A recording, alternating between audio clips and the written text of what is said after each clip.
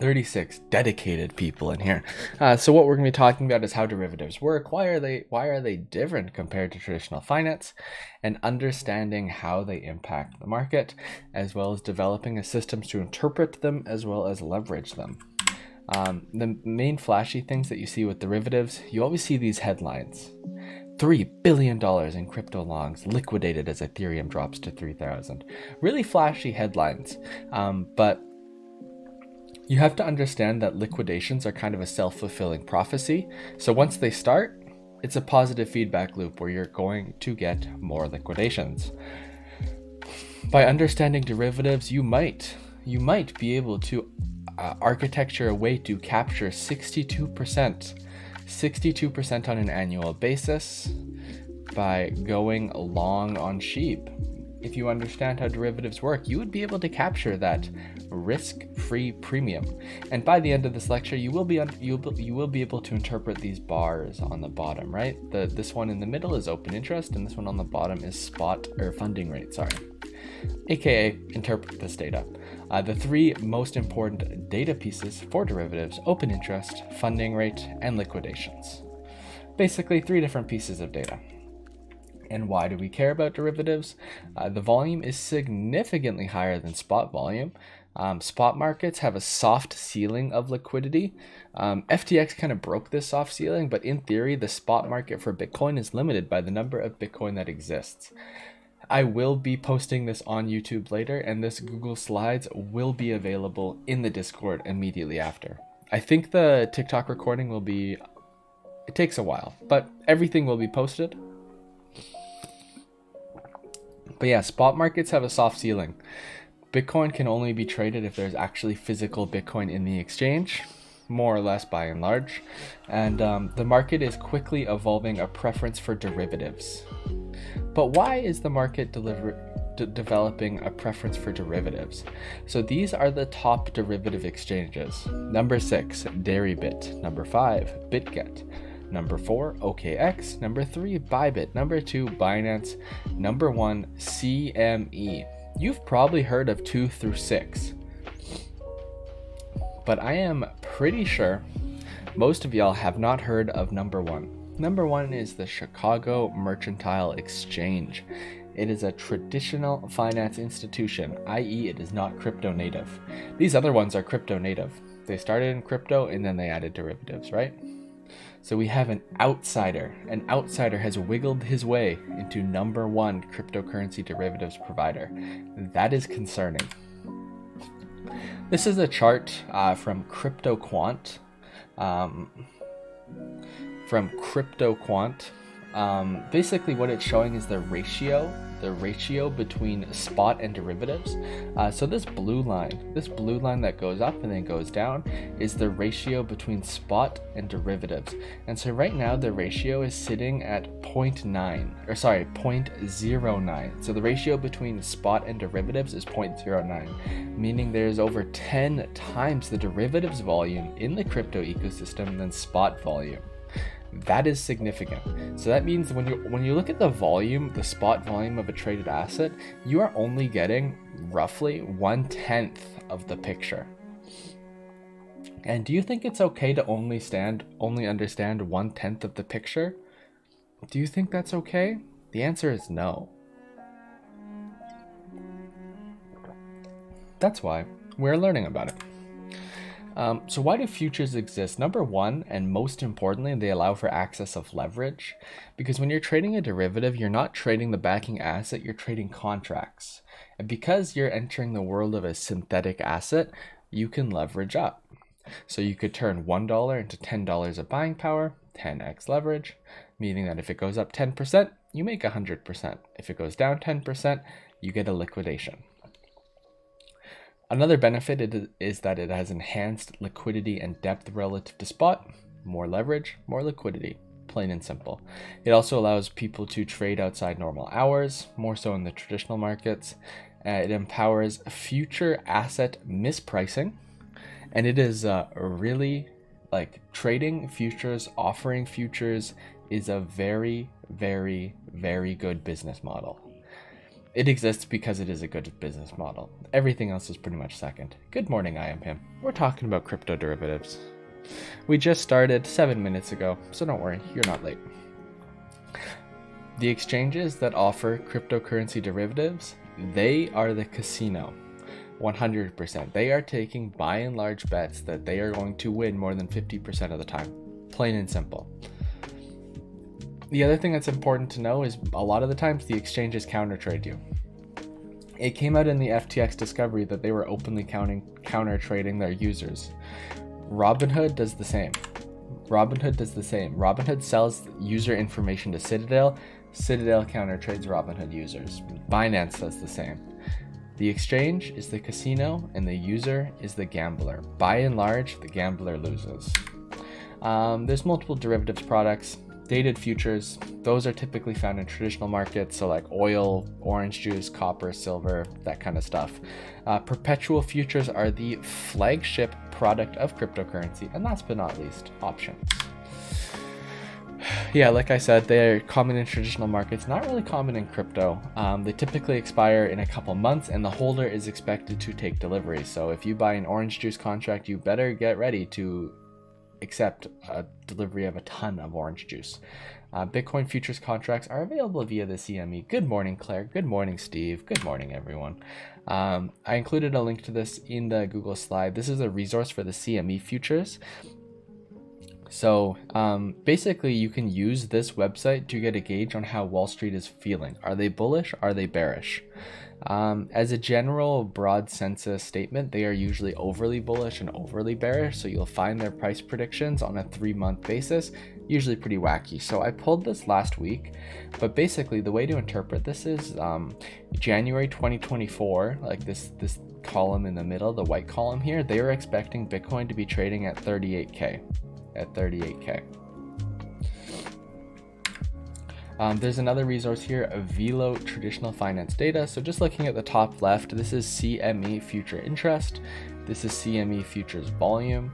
The CME second month annual basis is the premium between now and the second month. So basically it takes um, what they expect price to be in the second month versus now. They divide it. So if they said Bitcoin was going to be uh, let's say 40k and Bitcoin was currently at 30k, the annualized basis would be 10%.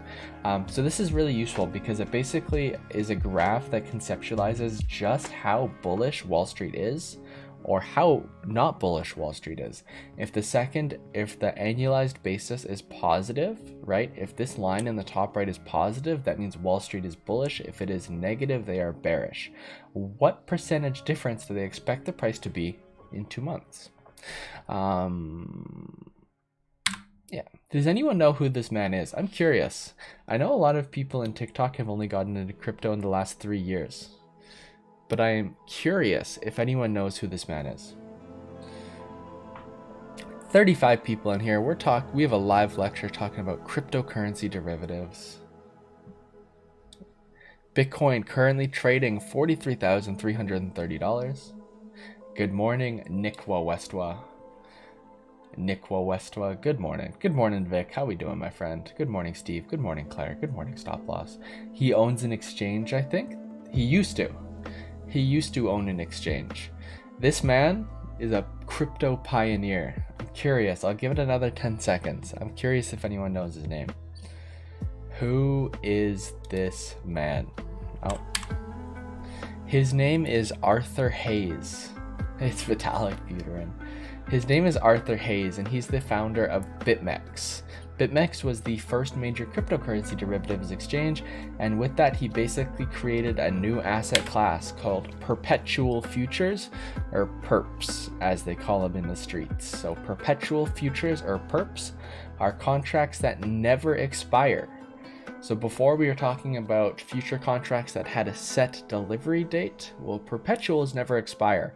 Um, they existed kind of before, but they became much more popular in the crypto market with BitMEX. BitMEX was the first perpetual exchange. Um, it allowed users to leverage up to 100x their money. It added an insane amount of money into the crypto ecosystem, and again, very, very, very profitable business, right? The only thing better than a casino is a casino that gives their players 10 times leverage. It's true. Um, so effectively, the main benefits here is you can borrow a lot of money, and all fees are multiplied by the amount of money you borrow. So if you take a maker fee of 0.075%, that 0.075% is multiplied by 100. You know what I mean? And exchanges often counter trade you. They know the gamblers often lose. Binance, FTX, Citadel, Robinhood, they all counter trade you. So first, we're going to talk about liquidations. What are liquidations? Why do they matter?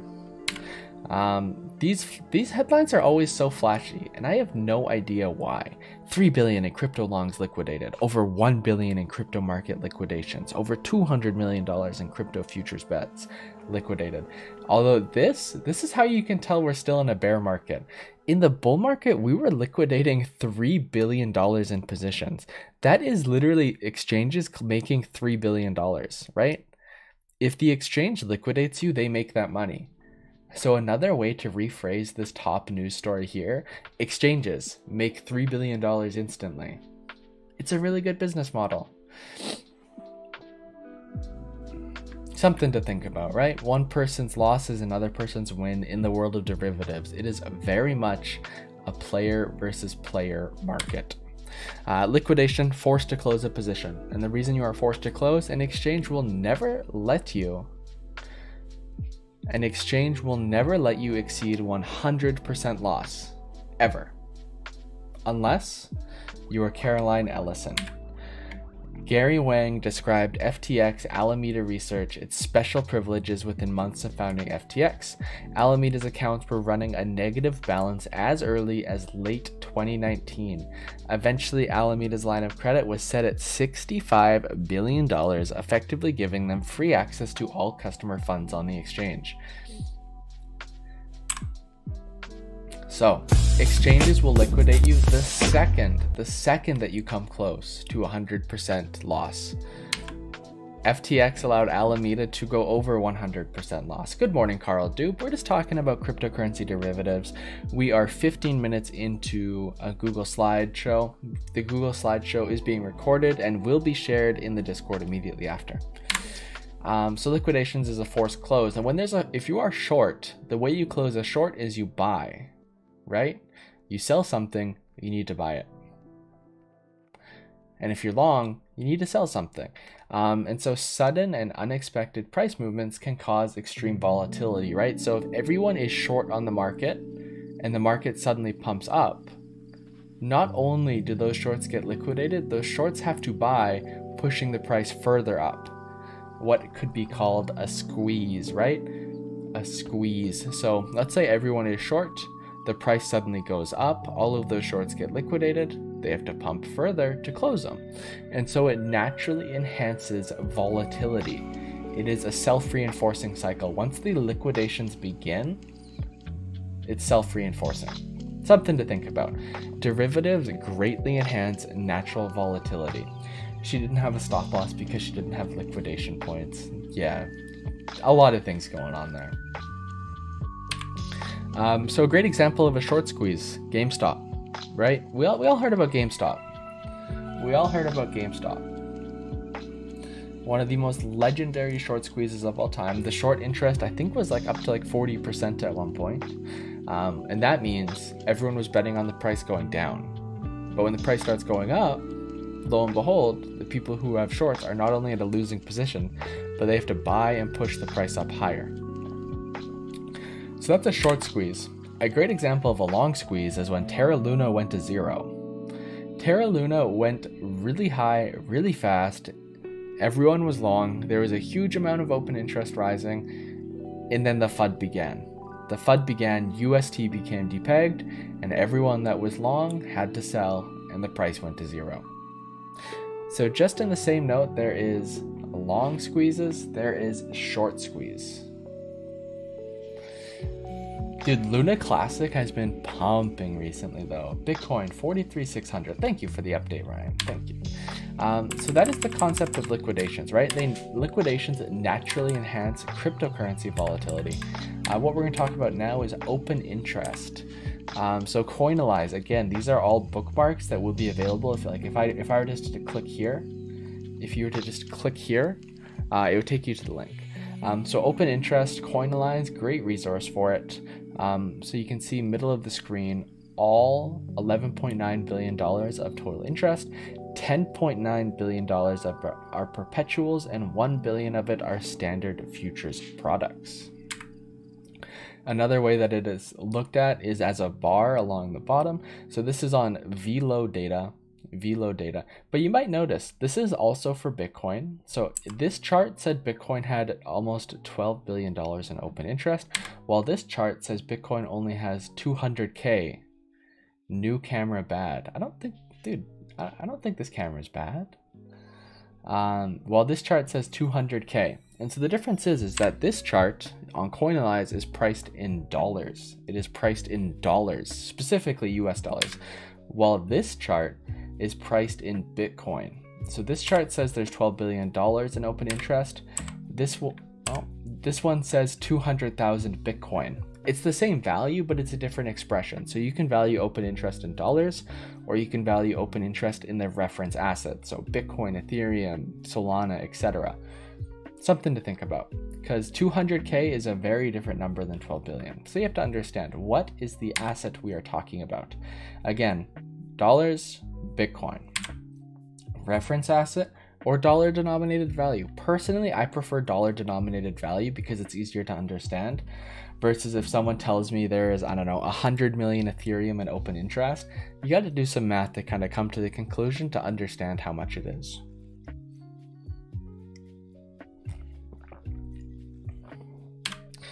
Um, behavior of degenerates. Perpetual futures greatly accentuate the volatility of the market. They make the highs higher and the lows lower. Um, because people join in to trends late on high leverage, it tends to push the price higher. And then when they get liquidated, it pushes the price even lower. Um, there is no way, when you look at just open interest and liquidations, there is no way to determine directionality. Directionality is the bias, right? Are more people long? Are more people short? There is no way to determine directionality. Open interest is just a value concept. How much money is being used in the derivatives ecosystem? Here's a great example. So this was yesterday, actually. This was yesterday. Yes, Bitcoin currently trading $43,600. We'll do some live analysis after this chart. Bitcoin just touched 44K. That it did. We like the 44K Bitcoin. We'll do some live analysis after, guys. I gotta get through this. So this was this was actually this was yesterday, right? So Bitcoin broke structure, right? We're starting with this top top graph that's price. Bitcoin broke structure price started exploring upwards and then the degens joined in. You can see uh, with this open interest along the bottom, there was a massive spike in open interest. Open interest went from 7.6 billion to 8.3 billion. That means 700 million dollars worth of derivatives joined in on the trade. That is a lot of money. $700 million joined in once Bitcoin broke structure. Like I said, open interest just accentuates volatility. The other thing, perpetuals tend not to last. So for example, price started rising. Price started rising, but open interest was rising while price was flat. So in this instance, open interest was front running price. So it was derivatives pushing this price up. The movements led by open interest tend to revert. So if you see Bitcoin trading flat while open interest is rising, that's kind of a warning sign because that means derivatives are taking positions, but it is all contextualized by spot volume. So in this instance, price was rising, spot volume was flat, but open interest was rising. That tells you that people are not buying spot, people are buying derivatives instead, and that you're probably going to round trip. And that's exactly what happened. There was an infusion of spot volume on the bottom here, but it was too little, too late, price reverted back down. So if you see a high amount of open interest but a low amount of spot volume, that is a red flag. That is a red flag.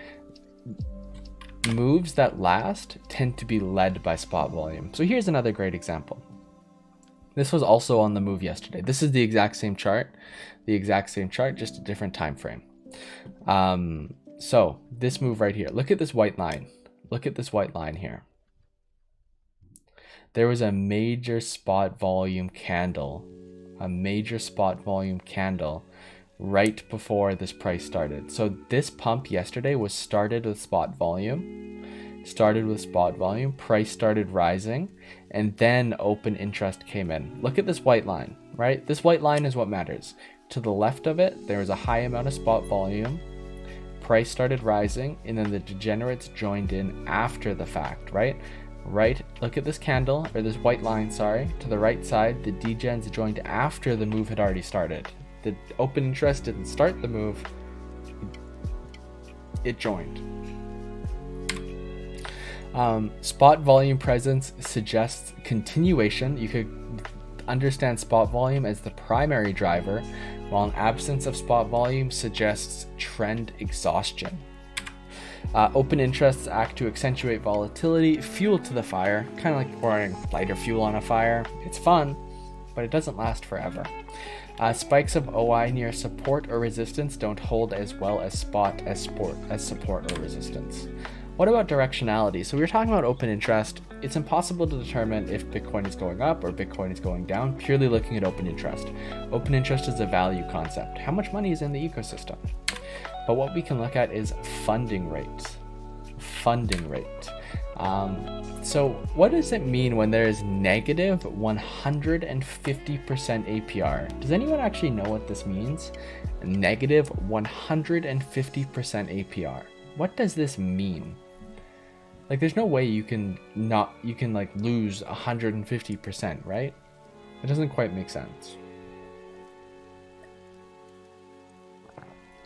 Overborrowed, exactly.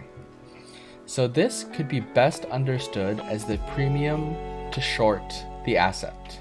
We'll talk about it. Um, you, you market order into a trade. You incur a 0.075% taker fee. You are leveraged 25x.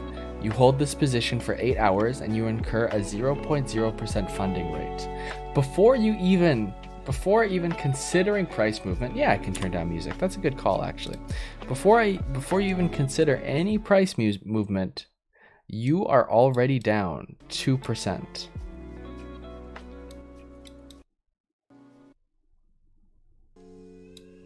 You are already down 2% of your total size. 2%. This is why trading futures, if you are inexperienced or don't know what you're doing, is a losing game right? All of the fees, all of the fees that you pay are amplified by the amount of leverage that you take. Oh, up and down arrows move volume on the YouTube. Oh, there we go. You're teaching me something, stop loss. So the higher the leverage, the higher the fees, plain and simple. Um, when we're talking about asset pricing and derivatives, there's what is called the spot price, which is a global average price for the asset. Um, that's where oracles come in. That's where oracles come in. So a major value proposition of oracles is getting price feeds to exchanges, Uh, while the mark price is the local exchange price that includes derivatives. But what happens when the spot price is different than the mark price? Because the spot price is the global average, the mark price is the local the local exchange price. This is a great example. So the white, the white bar, the, the white bars is the global average price. The global average price. And so effectively, what this graph is showing you is that there is two prices for an asset at any given time. There is what is called the price index or the spot price, and there's what is called the futures price or the mark price. And so there's two prices for assets at any given time when you're talking about derivatives. This is another way to encapsulate it. Bitcoin currently flying 44k. Yeah, it's currently trading $43,300. Love to see it. Because of this country, never helped young generation. I'm helping young generations right now, bro. Um, and effectively, the difference between the two prices can be expressed as a percentage. Expressed as a percentage. So this purple line in the middle is zero. But you see, like sometimes this blue line is positive. Sometimes this yellow line is negative. Sometimes it's positive. This is the percentage difference between the spot price and the mark price. Percentage difference. That is what that is what is funding rate. So when the mark price is above the spot price, Mark price is the derivatives price, spot price is the actual price. That means there's a premium to long the asset, right? Because if, if the mark price is above the spot price and you go to long, that means you are making that difference bigger. You are going to incur a fee for doing so, right? Because effectively you are adding to the inefficiency. The easiest way to understand an inefficiency is asset mispricing. So longs are going to pay a premium when the mark price is above the spot price. But one person's trash is another person's treasure. So in that situation where spot price is, I don't know, let's say 30K, mark price is 31, 31K, just for simplicity's sake, longs would pay a premium, but shorts would get a rebate, right? Because shorts are on the other side of that equation. Spot price is here, mark price is here. That means if there's like, I don't know, a 0.1% difference, there's a 0.1% difference on either side of the equation. So that means longs would pay shorts 0.1%. Right? That is the rebate. That is when the mark price is greater than the spot price. You can be on either side of this equation, right? I know it is a whole bunch of word salad, but here are some examples to make it much, much, much more clear. So this is when, actually here, wait, who's that Pokemon? It's Luna Classic. This is when Luna Classic went to zero, basically. Um, this is th this is what that candle looked like, right? And so what do you think the funding rate looks like for an asset that is rapidly accelerating towards zero? I'm curious, does anyone in chat have an idea of what funding rate would look like for an asset that is going to zero? Any ideas? Would it be positive? Would it be negative? Would what would the funding rate be for an asset that is rapidly heading towards zero?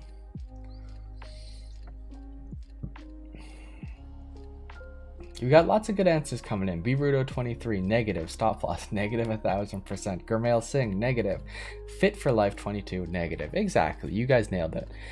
The easy way to understand it that if price is going down, the funding rate will be negative. If price is going up, the funding rate will be positive. That helps you determine the bias of the market. So this actually was an instance where there was negative 150% APR. That means the annualized fee to short Luna was 150%. So if you if you are short Luna $1,000, $1,000 over a year, you would have paid $1,500 in fees. $1,500 in fees. And that is because the short side of that Luna trade was very crowded. There was a massive difference. The mark price was significantly significantly lower than the spot price. The spot price was up here, the mark price was significantly lower. So everybody shorting it made the difference bigger, which makes the premium or yeah, the premium even bigger, right? But the other side of this trade was getting paid 150%. I'll call you before newcomer, no teacher. You have a teacher so bad. English with English with people. Um, so just like the shorts were paying 150%, the longs, the people who caught the falling knife on Luna, they were making 150%. APR on this trade, just with funding rate, just with funding rate. This is why when you hold a perp, you will get a negative fee when price moves one way and a positive fee the other. Exactly. Um, so this is with Velo data. This is with Velo data. So right now there is a 62% premium on Shiba. This was taken December 3rd at 8 p.m. And so this funding rate heat map is really useful because you can see where the market is experiencing the highest amount of leverage, where the market is experiencing the highest amount of directional bias, and if it's capturable. So I'm just using the Shiba one as an example. 62%. Well, if it's positive 62% APR, what does this actually mean, right? Who is making 62% on this trade? Who is actually making 62% on this trade? Is it the people who are longing or the people who are shorting? That's the big question. If you see a positive 62% APR, who is making money on that trade? Is it longs or is it shorts? What does this actually mean? I swear to God, for me, English teacher, white people, Dan. I don't know what this Sava guy is on about. I'm getting fucking lit up. Longs, exactly. Longs are paying shorts. There is a positive premium on this asset, right? Mark price is here, spot price is here. The people who are longing are increasing that difference. So longs are paying shorts. If you see a positive funding rate, that means the market is long bias. If you see a negative funding rate, the market is short bias. Now there's what is called Binance Futures data. Effectively, what this allows you to look at, there's top traders. You can look at them by account. This is the ratio, a very top-down look for longs versus shorts. So I pulled this data two days ago. But two days ago, 63% of all accounts were long bias, while 36% of all accounts were short bias. So this allows you to get a closer look at what smart money is doing with their derivatives accounts.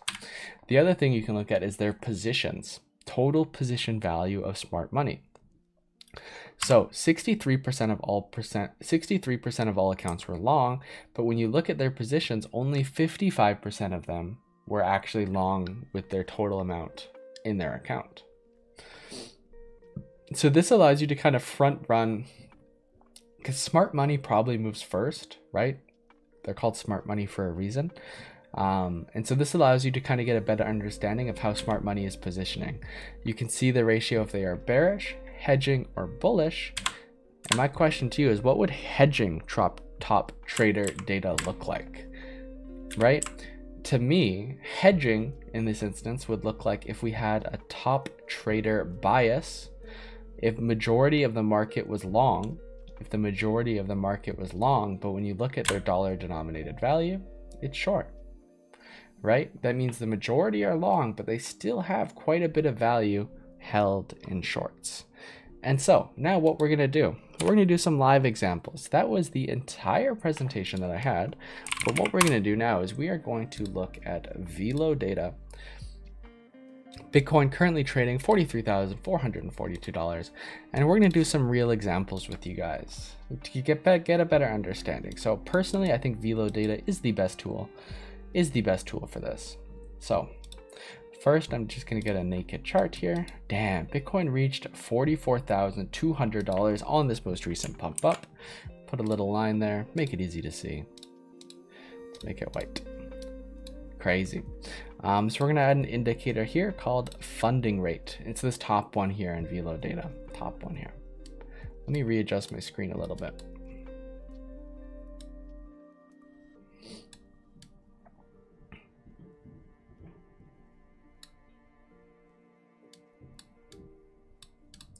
Alrighty, so we have funding rate.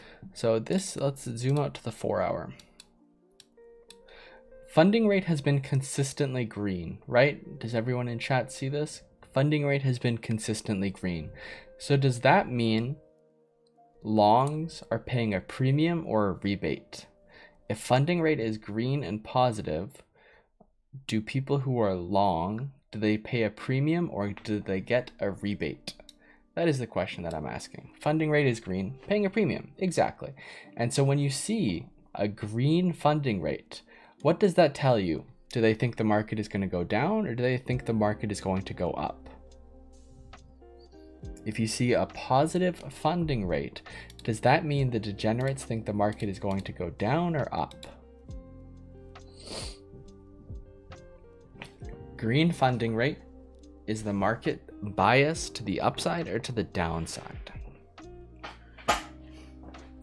LJWB420 420 says up. Exactly. You guys got it. You guys are smart. Right? And so as you can see, basically for the entire month of November, because over here is the end of October, over here on the left is the end of October. This was all of November the market was incredibly long bias. The market was incredibly long bias. That means all of the degenerates were very long. But now let's go back to a time where this wasn't the case. Let's go back to a time where this wasn't the case. Um, hmm, there we go. So this is a great example. This is a great example. So over here is when Bitcoin dumped from 30K down to 26. So you can see that Bitcoin broke a major structure. Bitcoin broke a major structure right there. What's up, Carter? What's up? Um, Bitcoin broke a major support. Let's put a vertical line right there. Let's make it white and easy to see. Bitcoin broke a major support right there. Funding rate immediately started trending down. Funding rate immediately started trending down. So over here, the funding rate was green. This means the market was long bias. Bitcoin broke a major support, price started to fall, and the market immediately flipped short. The market immediately flipped short. So in this situation where we now have red funding rate, what does that mean? Does that mean the market is short bias or long bias?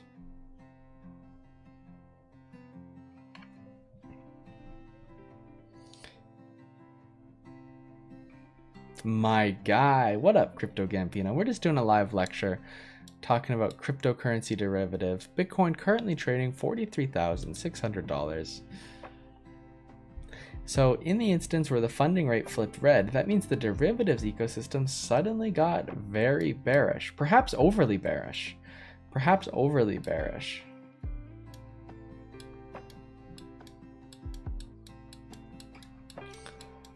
So you see these situations where funding rate is flipping between green and red, green and red.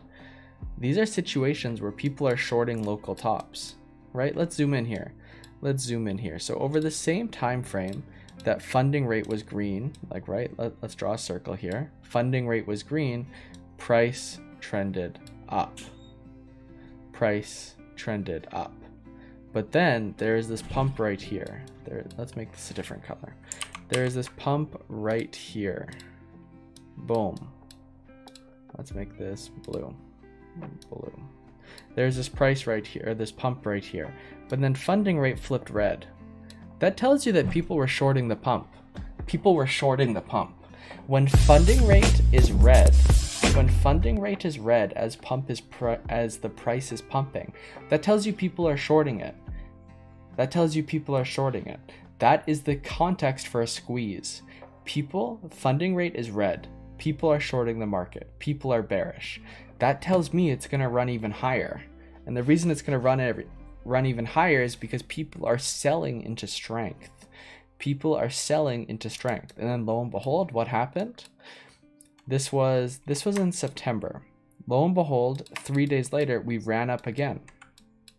We ran up again people were shorting this pump. Funding rate was red when the price was green. Funding rate was red when the price was green. That is the context for a squeeze. We got a little bit of consolidation, and then lo and behold, we made another leg up, right? Another leg up. That was a squeeze. So when there is discrepancy between the directionality of price and the directionality of derivatives, typically context for a squeeze typically. Very similar story here. So, very similar story. So, price was rising. Price was rising here, right? We're going to make this blue. Price was going up. Price was going up. At the same time, funding rate was red. So this tells me Is this Saba person like an NPC? I don't understand.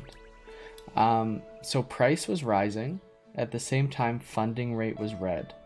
Funding rate was red. That means people were shorting the pump. They weren't respecting the pump.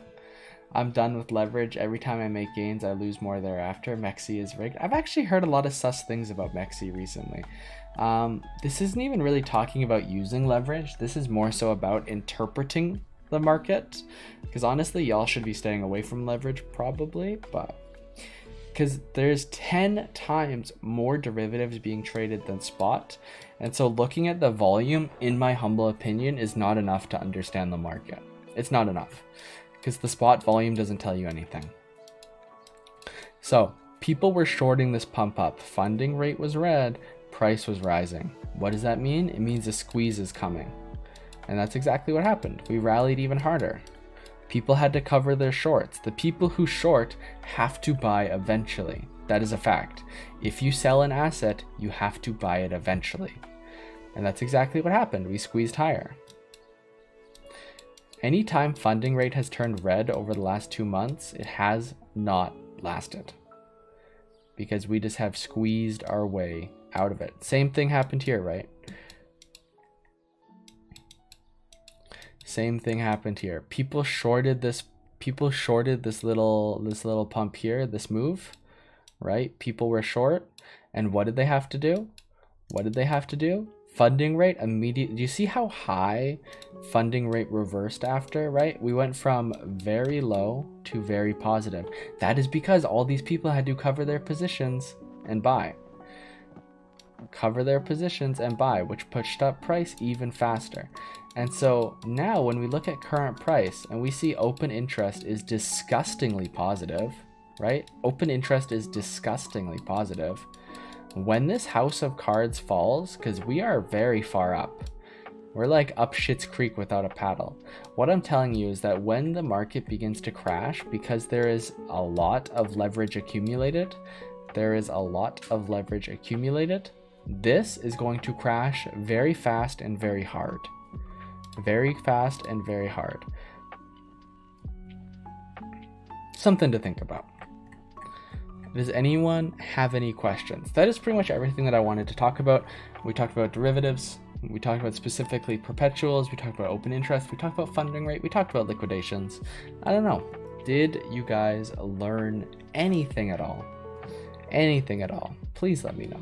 Drop it in the chat. Questions, comments, concerns. Was it helpful? Was it not helpful? Because now we can just start talking about crypto. I had my lecture. That was all I wanted to talk about. Ordinals, holy shit. You're always very helpful. Thank you, Crypto Gambino.